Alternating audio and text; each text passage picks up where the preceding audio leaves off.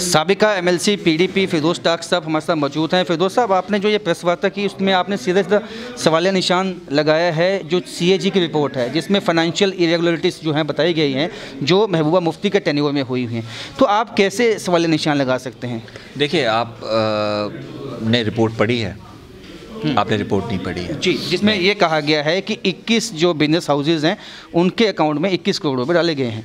नहीं आपने रिपोर्ट पढ़ी नहीं है उसमें कहाँ कहा गया है महबूबा मुफ्ती साहबा की गवर्नमेंट में ऐसा हुआ है?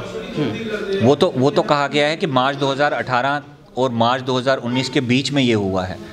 तो मार्च 2018 और 2019 के बीच में किसकी सरकार थी? 2014 में जो फ्लड आया तो उसके बाद जो फाइनेंशियल असिस्टेंस दिया गया लोगों को उस पर भी जो है सवाल निशान लगाए गए हैं कि वो जो पैसा है, वो सही लोगों तक नहीं पहुँचा। देखिए, आप, मैं आपको बताता हूँ।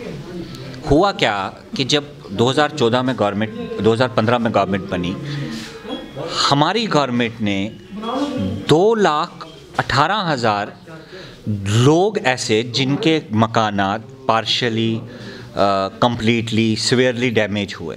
दो लाख अठारह हज़ार फैमिलीज़ को हमारी गवर्नमेंट ने रिलीफ दिया। किसी को साढ़े चार लाख रुपया मिला, किसी को एक लाख अस्सी हज़ार मिला, किसी को पचहत्तर हज़ार मिला, किसी को सोलह हज़ार मिला। Depending upon the severity of damage जो लोगों को हुआ।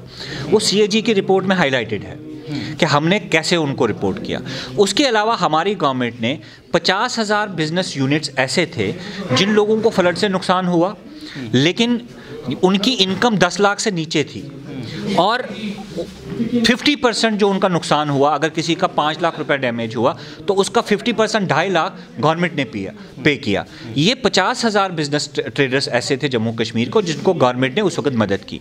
उसके अलावा अट्ठाईस हज़ार लोग, अट्ठाईस हज़ार बिज़नेस यूनिट्स ऐसे आइडेंटिफाई हुए जो बड़े बिज़नेस यूनिट्स थे और उनका लोन जो है वो बहुत ज़्यादा था और उनका इंटरेस्ट बहुत ज़्यादा बन गया था।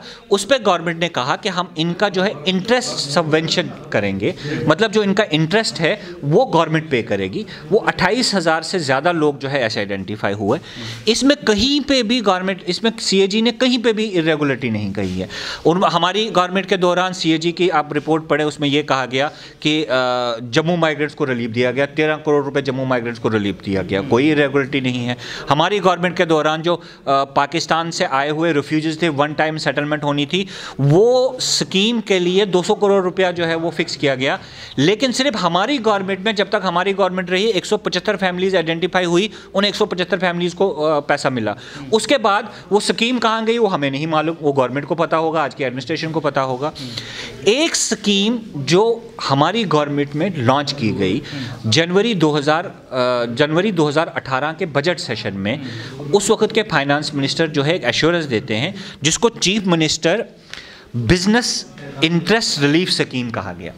ये वो लोग थे जिनको 2014 के फ्लड में नुकसान नहीं हुआ था जिनको 2016 के कश्मीर अनरेस्ट में नुकसान हुआ था। उसके लिए दो ढाई सौ जो बिज़नेस यूनिट्स हैं वो आइडेंटिफाई हुए कि जिनको डायरेक्ट जो है नुकसान हुआ और जिनको बहुत ज़्यादा इंटरेस्ट जो है वो कंपाइल हो गया बैंक्स में और उसमें गवर्नमेंट ने कहा कि हम इनका इंटरेस्ट में पे करने में जो है हम हेल्प करेंगे। लेकिन ये स्कीम इम्प्लीमेंट कब होती है? ये स्कीम इम्प्लीमेंट होती है फाइनेंशियल ईयर 2018 और 2019 हमारी गवर्नमेंट तो जून 2018 में गिर गई। अब फिर ये लोग कौन आइडेंटिफाई हुए? उनको पैसा कहाँ से गया? और सिर्फ़ 19 बारह ओवर्स को 21 करोड़ रुपए कैसा गया? अब ये जो लिस्ट है, आप भी पढ़ें। आप लिस्ट पढ़ेंगे थोड़ी इन्वेस्टिगेशन कर लें पता कर लें ये उन ये जो 19 लोग हैं ये कौन है और किसके नज़दीक है। तो शायद आपको उसका आंसर मिल तो आपने इंक्वायरी की मांग की है कैसी इंक्वायरी चाहते हैं? देखिए हमारे लिए छुपाने के लिए कुछ नहीं है। हम बार बार इस बात को दोहरा रहे हैं कि हमारे लिए हमारी गवर्नमेंट के लिए जो सबसे बड़ा चैलेंज 2015 में गवर्नमेंट संभालने के बाद था वो ये था कि हम जो फ्लड का नुकसान हुआ है। चाहे वो इंफ्रास्ट्रक्चर को लेकर हुआ है चाहे गवर्नमेंट प्रॉपर्टी को लेकर हुआ है चाहे इंडिविजुअल प्रॉपर्टी को लेकर हुआ है चाहे यहाँ की इकॉनमी को लेकर हुआ है हम उसको रेस्टोर कैसे करें? और एक साल के सिर्फ़ कार्यकाल में ही मुफ्ती मोहम्मद सैयद साहब ने सारा जो डैमेज इंफ्रास्ट्रक्चर था रोड्स ब्रिजेस टूरिस्ट इंफ्रास्ट्रक्चर सारा का सारा जो है वो रिकवर कर लिया, सारा का सारा रिस्टोर कर लिया। उसके अलावा दो साल के वक्फे के तहत हमने जो जिन लोगों को उनके मकान, मकानों को नुकसान पहुँचा था, हमने डायरेक्ट उनके अकाउंट्स में पैसा ट्रांसफ़र किया।